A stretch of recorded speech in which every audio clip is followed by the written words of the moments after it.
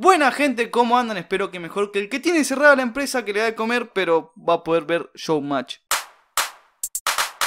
Bueno, hoy voy a hablar de monopolios, porque hay mucho zurdo y gente que piensa también que se opone a los monopolios, pero sus ideas sobre la economía hace que se creen monopolios. Antes que nada, ¿qué es un monopolio? Es cuando una sola empresa maneja un producto o servicio. ¿Entienden, pelotudo? Y ahora pregunta para un zurdo que esté mirando, antes de que le dé dislike.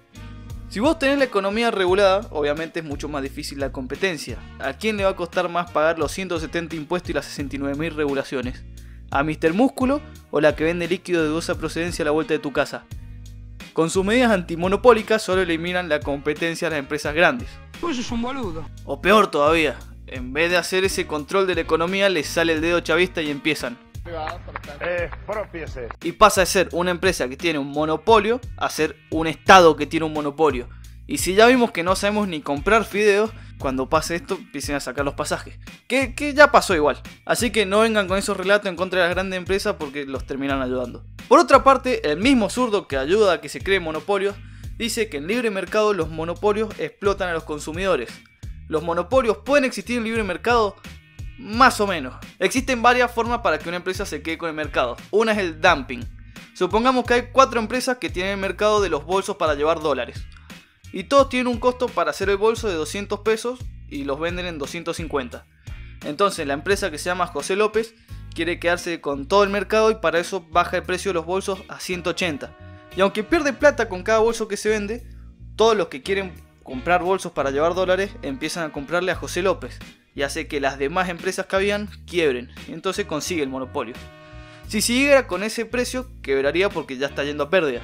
Pero ahora como tiene el monopolio, va a poner el precio de los bolsos a 400 mangos. Y es más, baja el costo de producción a 150 para tener más guita. Pero como estamos en libre mercado, es mucho más fácil emprender y en cuanto ven que está vendiendo los bolsos de mierda a precio altísimo, aparece una nueva empresa que se llama Lázaro Báez y vende los bolsos de mejor calidad a 250 pesos. La gente le compra los bolsos a él y obliga a López a que baje los precios o se come una pija. O sea, todo lo que hizo fue al pedo. Por eso el mercado se autorregula. Si en vez de libre mercado son políticas de impuestos altos, burocracia y tener que negociar con un sindicalista mafioso para poder emprender, es mucho más fácil que José López hubiera quedado con el monopolio y todos tengan que pagar 400 mangos el bolso. Los zurdos son los que prometieron destruir. Hay otra forma de monopolio y es que ponerle que sí o sí para hacer los bolsos tenés que tener un material que en Argentina solo tiene José López. Si vos no dejás que pueda importar de otro país ese producto, ese material, eh, le estás regalando el monopolio. Pero a los zurdos no le gusta que traigamos cosas afuera. Eh, no me digo, no me parece que este chico sea muy listo. Y si no, José López tendría que tener un monopolio mundial de ese producto que es más improbable que Kisilov diciendo dos frases coherentes seguidas. O de última, tendría que estar asociado con todo el mundo para tener ese material para que nada más le vendan a él. Que bueno, es estúpido. O sea, la otra persona también quería narguita y trataría de vender más. Así que bueno, ese tampoco funciona. El otro sería la cartelización, que es cuando varias empresas se ponen de acuerdo para reducir la producción y al haber menos oferta, subir los precios. Primero, otra vez, puede entrar una empresa nueva, vender más barato y se los garcha todo. Pero la mayoría de las veces una de las empresas rompe el cártel para satisfacer la demanda que hay y llenarse de guita vendiendo más barato que los otros. Y por último está el monopolio que, que al final beneficia a la gente. Ahora un zurdo se le acaba de retirar el cerebro.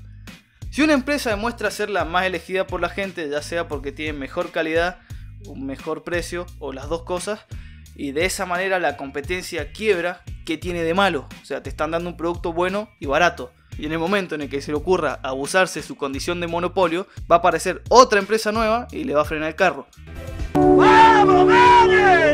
Y a los que se quejan de las empresas, lo que deben hacer es organizar un partido político, presentarse a elecciones y ganarlas. así que si conocen a alguien que se queja de los monopolios y que cagan la gente y no sé qué, deciles. Están cagando, tenés que darte cuenta.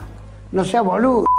Muchas gracias por ver el video hasta el final, espero que les haya gustado, eh, dejen like, suscríbanse y todo eso. Y bueno, muchas gracias Juan Silvestre que yo usé su artículo para guiarme y se lo dejo en la descripción para que vayan a leerlo, es mucho más largo y completo que este video de mierda. Chao.